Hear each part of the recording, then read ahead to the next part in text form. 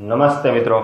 કેમ છો? મજામાં ને? હું પિયુષ બુસા બુસા સ્ટડીમાં આપનું હાર્દિક સ્વાગત કરું છું. મિત્રો, આપણે ત્રિકોણમાં કોઈ પણ આકૃતિમાં કેટલા ત્રિકોણ છુપાયેલા છે તે શોધવા માટે આપણે પાર્ટ નંબર બે શરૂઆત કરવા જઈ રહ્યા છીએ. તો હજી તમે જો પાર્ટ નંબર એકનો જોયો હોય, તો પાર્ટ નંબર એક જોઈ લ્યો. હું એની ડિસ્ક્રિપ્શનમાં એની લિંક ડિસ્ક્રિપ્શનમાં આપી દઈશ.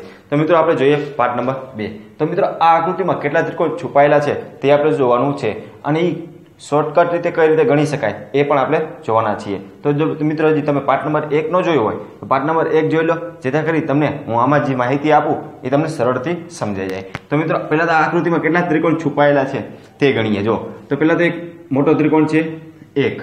પછી જોઈએ તો આથી આ બાજુનો ત્રિકોણ બે અને આ બાજુનો ત્રિકોણ ત્રણ. હવે એ જ રીતે અહીંથી આ ત્રિકોણ જોશો તો એક ત્રિકોણ ઉપર નાનો થશે, એટલે કે ચાર. અને એમાં આ ત્રિકોણ આવશે પાંચ અને આ ત્રિકોણ આવશે આ બાજુનું છ. એટલે મિત્રો, આ ત્રિકોણમાં દેખાય છે કેટલા ત્રિકોણ? છ દેખાય છે. હવે આપણે શોર્ટકટ રીતે કઈ રીતે કરી શકીએ? એ સમજવાનું છે? તો આપણે શું કીધું હતું? કે જ્યાં ઊભી લાઈન દેખાય તમને, આમ ઊભી લાઈન, તો શું કરો? બે ભાગ પડે છે, એક અને બે. એક અને બે લખી લો.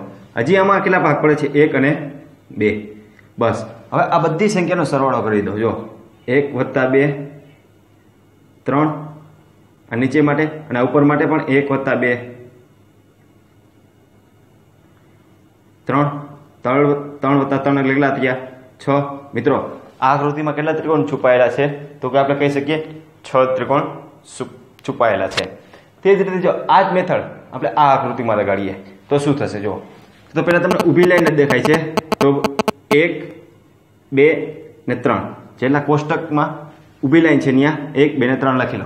તે જ રીતે ઉપર પણ એક, બે, ત્રણ દેખાય છે. એક, બે ને ત્રણ. એ જ રીતે હજી ઉપર આપણે એક, બે અને ત્રણ દેખાય છે.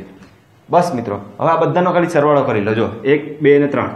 એક વત્તા બે વત્તા ત્રણ. કેટલા થશે તો? છ થશે. એક વત્તા બે વત્તા ત્રણ, એટલે છ થશે. એ જ રીતે આ આડી લાઈન માટે છ, એ જ રીતે આ આડી માટે છ બીજા થશે, અને આ આડી લાઈન માટે બીજા છ થશે. એટલે મિત્રો, એનો મતલબ શું થયો? કે કુલ ત્રિકોણ કેટલા થશે મિત્રો? અઢાર ત્રિકોણ થશે. મતલબ કે આ આકૃતિમાં કેટલા ત્રિકોણ છુપાયેલા છે? તો હવે તમે એકદમ સરળથી કહી શકો કે અઢાર ત્રિકોણ છુપાયેલા છે. કઈ રીતે? તો કે જેટલા તમને કોષ્ટક દેખાય છે, જેટલી પહેલાં ઊભી લાઈન છે, એમાં જો જેટલા કોષ્ટક બને છે, એક, બે ને ત્રણ મૂકી દો. પછી શું કરો? જો હજી ઉપર દેખાય છે, તો હજી એક, બે ને ત્રણ મૂકી દો. હજી ઉપર દેખાય છે, તો એક, બે, ત્રણ મૂકી દો. બસ, હવે એક, બે, ત્રણનો બધાનો સરવાળો કરી દો. પહેલી લાઈનમાં એક, બે ને ત્રણનો સરવાળો કર્યો એટલે છ. એ જ રીતે ઉપર એક, બે, ત્રણનો સરવાળો કર્યો એટલે છ. ઉપર પણ એક, બે, ત્રણનો સરવાળો કર્યો એટલે છ. અને બધાનો સરવાળો કર્યો તો અઢાર આવશે. એનો મતલબ કે આ આકૃતિમાં અઢાર ત્રિકોણ છુપાયેલા છે. તો આમાં શું કરું મિત્રો? તો પહેલાં તો આપણે શું જોશું આડી લાઈન જેટલી દેખાય છે, મતલબ કે કેટલી છે? એક અને બે. અને ખાણા કેટલા છે? એક, બે ને ત્રણ. તો એક, બે ને ત્રણ મૂકી દો. એક, બે અને ત્રણ. હવે એની ઉપર ચાલો. તો હવે કેટલા ખાના દેખાય છે? તો કે એક અને બે. પછી, તો કે પછી ઉપર ચાલો. આ લાઈન અહીંયા લગીને જ છે. તો કે એક અને બે. મતલબ કે હવે આમાં જેટલા તમે અંક લખ્યા એ બધાનો સરવાળો કરી દો. તો અહીંયા કેટલા કહેતા એક, બે ને ત્રણ. તો કેટલા થશે? એક વત્તા બે વત્તા ત્રણ. તો જવાબ આવશે છ. હવે અહીંયા કેટલા કહેતા એક વત્તા બે. એટલે કેટલા કહેતા ત્રણ. એ જ રીતે અહીંયા એક અને બે. તો કેટલા થયા? ત્રણ. મિત્રો, આ બધાનો સરવાળો કરો તો કેટલા થશે? બાર. એનો મતલબ કે આ આકૃતિમાં કેટલા ત્રિકોણ છુપાયેલા છે? તો હવે કહી શકીએ કે આપણે બાર ત્રિકોણ છુપાયેલા છે. આપણે ગણતરી ત્રિકોણને ગણ્યા વગર પણ કહી શકીએ છીએ કે આ આકૃતિમાં ટોટલ બાર ત્રિકોણ છુપાયેલા છે. એ જ રીતે હવે આ આકૃતિમાં આપણે ગણીએ કે આ આકૃતિમાં કેટલા ત્રિકોણ આવશે. પહેલાં તો આપણે કેટલા ખાના દેખાય છે તો લખી લ્યો. એક, બે, ત્રણ અને ચાર. હવે એની ઉપર ગયા તો અહીંયા એક અને બે દેખાય છે. હજી એની ઉપર ગયા તો અહીંયા એક અને બે. કેમ આટલે અહીંયા ન લખ્યું?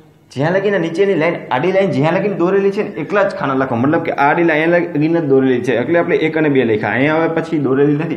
એટલે આપણે પછી ત્રણ અને ચારનો લખ્યા. એ જ રીતે આપણે અહીંયા એક અને બે લખ્યા. અને અહીંયા હજી આડી લાઈન કેટલી લગીને છે, અહીંયા બે કોષ્ટક લગીને જ છે. હજી એટલે આપણે એક અને બે મૂક્યા. બસ. આ બધાનો હવે ખાલી સરવાળો કરી લો. તો એક, બે વત્તા ત્રણ. ને વત્તા ચાર. કેટલા થશે? એક વત્તા બે વત્તા ત્રણ વત્તા ચાર. એટલે કેટલા થશે? દસ. હવે ઉપર ચાલો, એક વત્તા બે એટલે કેટલા થશે? ત્રણ. હજી ઉપર ચાલો, એક વત્તા બે એટલે ત્રણ.